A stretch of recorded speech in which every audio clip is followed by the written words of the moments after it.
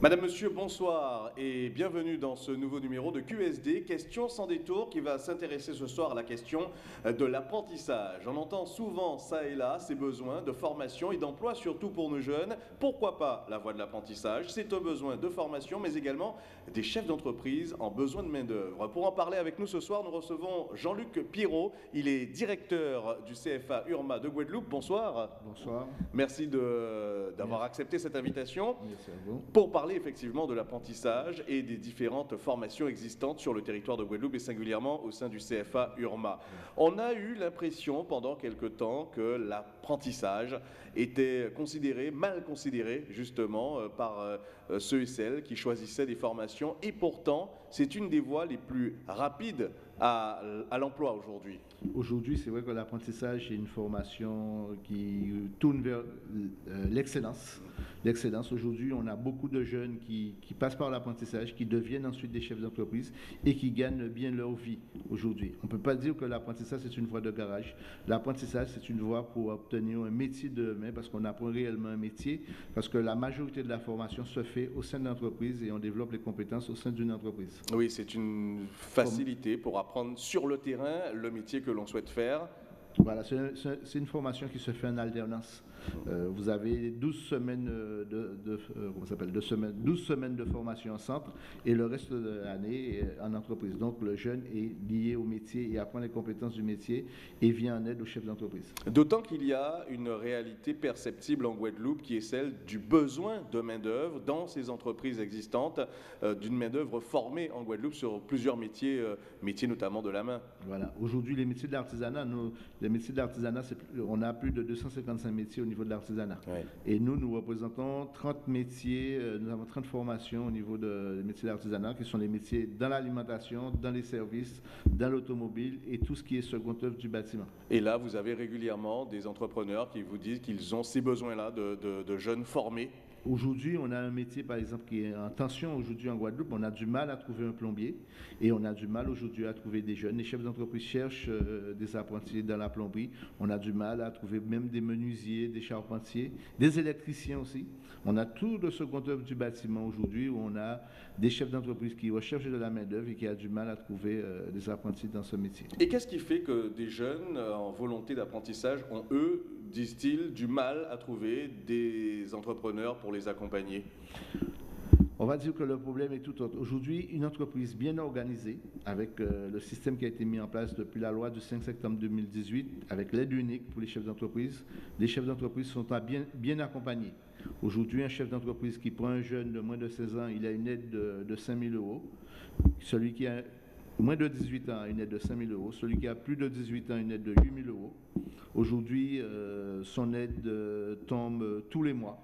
Dès qu'il a fait sa déclaration sociale nominative, l'aide tombe tous les mois et il peut, ça peut l'aider à payer le jeune.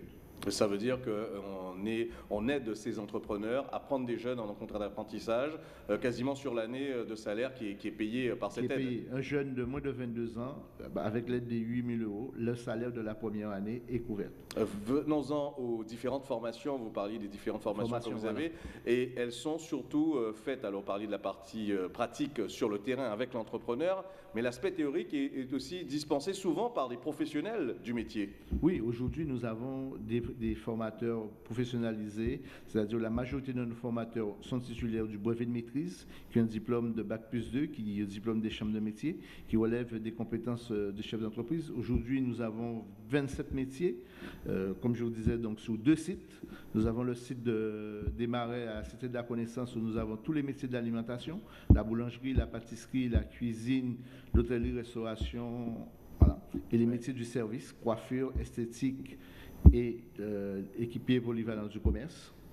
Et nous allons ouvrir euh, une section qui existait il y a 10 ans lors de la création de l'URMA, qui est la prothèse dentaire. Cette année, nous relançons euh, la prothèse dentaire et nous devrons avoir une promotion de prothésistes dentaires qui devrait démarrer d'ici le mois de novembre. Parce que ça répond également à des besoins sur un territoire, un manque justement de professionnels dans certains secteurs d'activité. On craint même que des générations s'en aillent et qu'on ne trouve pas de remplaçants. Aujourd'hui, le métier de prothésiste dentaire, il est temps à disparaître. La majorité des prothésistes dentaires, ils ont plus de 55 ans, 60 ans.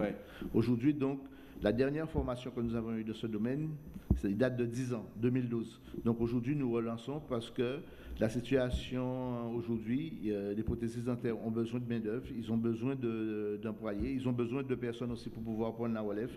Donc nous relançons cette formation et nous la relançons en même temps qu'en en, partenariat avec la Chambre de métier de la Martinique. Très bien. Donc effectivement, les besoins sont sur les deux îles, là on l'a compris. Ça veut dire qu'on peut euh, être formé en Guadeloupe et pourquoi pas exprimer son talent euh, du côté de, la Martinique. Euh, on le disait, il y a cette volonté en tout cas d'accueillir un maximum d'apprentis en contrat d'apprentissage, d'accueillir également un maximum d'entrepreneurs pour qu'ils soient eux également euh, favorables à ce, type d'embauche. Euh, il y a une campagne de communication en ce moment lancée par la Chambre des métiers euh, et de l'artisanat de la Guadeloupe. Elle doit valoriser l'apprentissage, elle doit faire comprendre aux familles que c'est une, une vraie voie pour, pour, pour les jeunes il faut que le public guadeloupéen comprenne que la formation d'apprentissage, c'est une formation en excellence. On a beaucoup de réussites, beaucoup de chefs d'entreprise qui ont réussi, qui gagnent bien leur vie. Ce n'est pas un métier... Euh, les métiers se sont améliorés dans le temps. Il y a aujourd'hui, il y a moins de contraintes, il y a moins de pénibilité. Euh, par exemple, les boulangers avant qui se levaient à minuit pour commencer, aujourd'hui un boulanger se réveille à 4h, 5h du matin. Euh, il y a de plus en plus de machines. Euh, c'est moins pénible. Donc les métiers se sont améliorés avec le temps. Et puis le bonheur du travail également que vous valorisez. C'est aussi ça, travailler, avoir le plaisir de la réalisation. Mais je pense que, que ce soit le métier, quand vous avez réalisé une belle charpente, c'est un plaisir de voir une belle charpente en bois rouge ou en, ou en pain.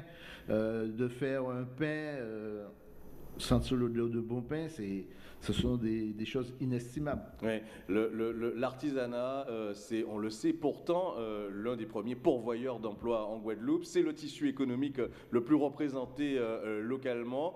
Mhm. vous ne craignez pas finalement qu'il y ait d'autres artisans de demain en Guadeloupe? Non, aujourd'hui, l'artisanat, c'est 18 000 entreprises. Au niveau de la Chambre de métier, on a 18 000 entreprises.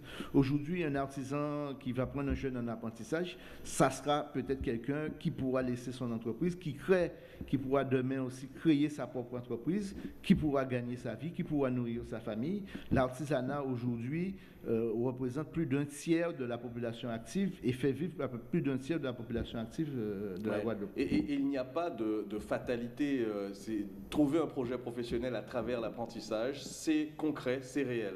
C'est réel, parce qu'aujourd'hui, nous, on forme les jeunes, la Chambre de métiers, c'est une grande maison, on forme les jeunes à l'apprentissage. Demain, ils veulent créer leur entreprise, on a le développement économique qui peut les accompagner dans la création d'entreprise ou la reprise d'entreprise.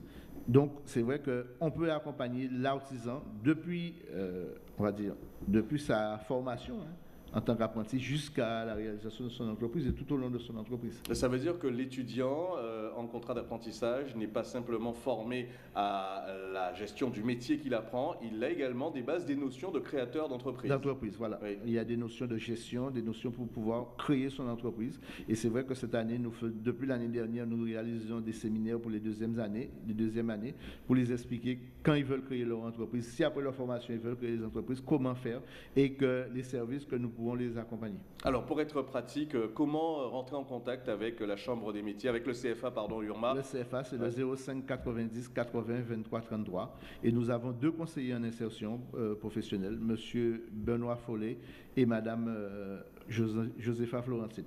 Très bien. Donc, on peut venir sur place sur place aussi ou, à, démarrer, à, démarrer, sur le site On reçoit sur les deux sites. Donc, euh, c'est réception des apprentis, des jeunes, mais également des, des entrepreneurs, des entrepreneurs. De toute façon, c'est la maison des entrepreneurs. La, Chambre des métiers, c'est la maison des entrepreneurs, donc les entreprises euh, peuvent être accueillies il n'y a aucun problème. Allez, osez l'apprentissage, proposez l'apprentissage à vos jeunes. On a besoin de main-d'œuvre en Guadeloupe, vous l'avez entendu. Merci à, donc à Jean-Luc Pierrot, directeur euh, de formation du CFA URMA de Guadeloupe, d'avoir été notre invité. Un nouveau QSD à venir dès demain sur nos antennes. Très, très, très bonne soirée. Merci. Parfait.